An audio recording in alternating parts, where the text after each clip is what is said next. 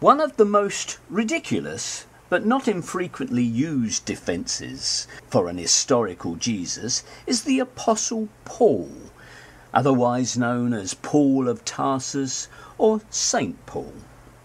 The argument goes something like well, would Paul have suffered so much? Would he have traipsed thousands of miles preaching and establishing churches and writing his famous letters if he knew Jesus was an invented character?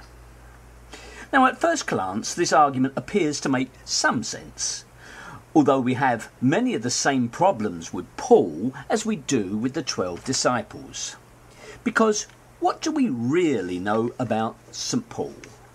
It is a fact that despite the claims made in the Acts of the Apostles that Paul had encounters with high priests, kings, and Roman administrators, Paul is completely unknown in secular history. With Paul, unlike with Jesus, there are no questionable paragraphs and passing references in the works of Jewish and Roman historians. With Paul, we draw a complete blank. Despite his purported Herculean efforts throughout the eastern Mediterranean, no one outside Christian scripture noticed a thing. Now that should signal the first alert in our mind.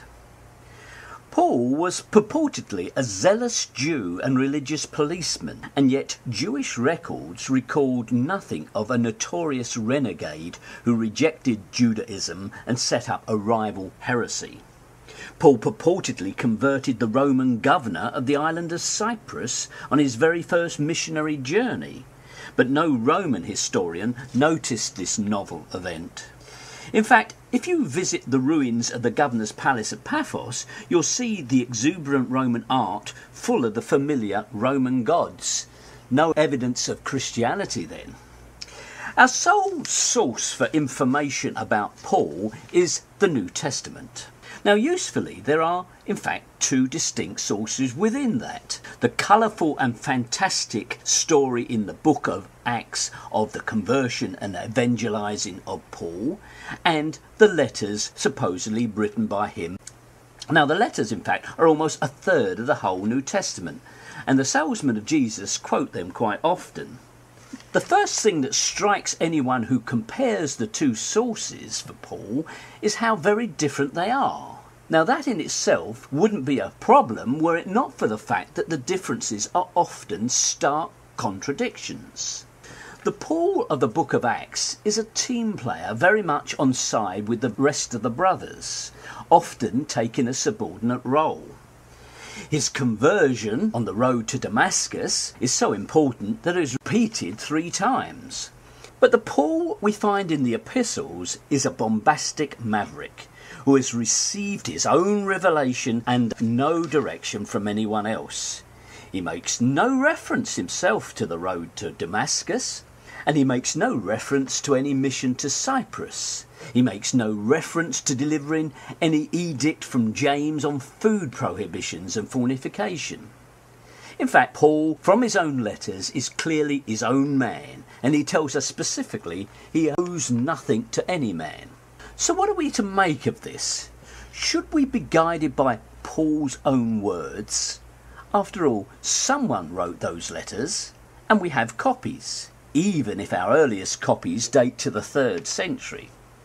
But the problem we have with the letters of Paul is that many of them are regarded very widely by New Testament scholars as fake, or, as they more delicately put that, inauthentic. In other words, written by a believing Christian writing what he thought Paul would have said. Now that should set a second alert in our mind. We can't rely upon the letters of Paul as being genuine.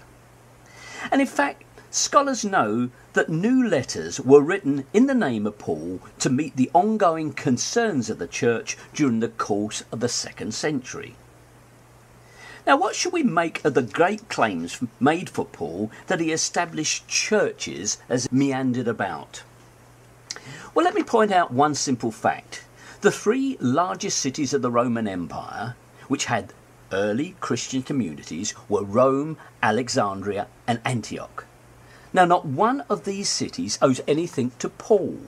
In his letter to the Romans, Paul looks forward to meeting the brethren there for the first time. The churches in that city owe nothing to Paul, and in fact, church historians have no certain idea when or how those churches were established. With Alexandria, Paul had no connection at all with that city, and in the case of Antioch, it was the church there, according to the Acts of the Apostles, that recruited Paul and sent him on his first mission. Therefore, Paul was not the founder of any important churches. A fourth city we might mention is Ephesus, where supposedly Paul spent over two years and to which he sent one of his trademark letters. Did Paul even found the church of Ephesus? Now, Acts tells us that Paul was forbidden by the Holy Spirit to enter Roman Asia on his second missionary journey. When Paul finally reaches that city, missionaries are already active there. And the tradition of the Ephesian church is that St. John was the founder. So Paul is not the great founder of churches at all. In fact, almost everywhere he goes, he meets and is helped on his way by existing unknown brethren. So there are doubts about the genuineness of Paul's letters and doubts about the truth of Paul's foundation of churches. And when we add to that doubts about the very existence of this superstar of early Christianity, there are real problems. In fact, we can see our Paul is an idealized Christian founder. At once a tireless missionary, a bold preacher, a theologian, a church organizer, and most importantly, an heroic martyr. It isn't true, it isn't history, it's more astounding rubbish from the New Testament.